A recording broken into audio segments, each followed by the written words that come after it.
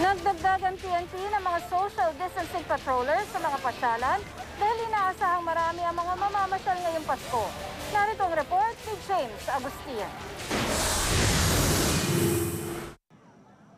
Mapayapa ang naging pagdiriwang ng bisperas ng Pasko sa pangkalahatan. Yan ang isinaad ni PNP Chief Police General De Bolsinas matapos matanggap ang mga report mula sa Police Regional Offices at NCRPO. As of 1 o'clock, peaceful po. Wala pong major incident. Lahat po ng mga midnight masses ng mga simbahan sa buong Pilipinas ay ginordyahan po ng pulis at wala pong nangyayari. Inaasahan na raw ng PNP ang dagsa ng mga taong mamasyal ngayong araw. Kaya nagdagdag sila ng social distancing patrollers.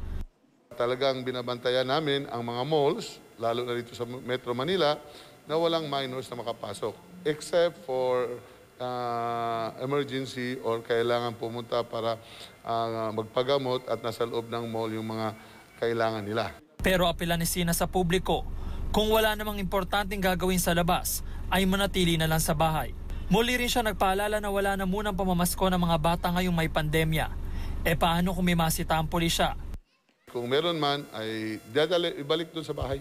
Ihatid doon sa bahay, ihatid po sa mga magulang. Hindi po namin yan uh, dalhin na sa estasyon. No? Kasi namamasko lang naman yun eh. No? Pero kung matigas ang ulo, uh, dalhin natin sa social workers. Nag-ikot si Sina sa ilang police district sa Metro Manila pasado alas 11 kagabi. Tinungo niya ang Camp Karinga sa QCPD, Caloocan Police Station at Santa Cruz Police Station ng Manila Police District. James Agustin, GMA News.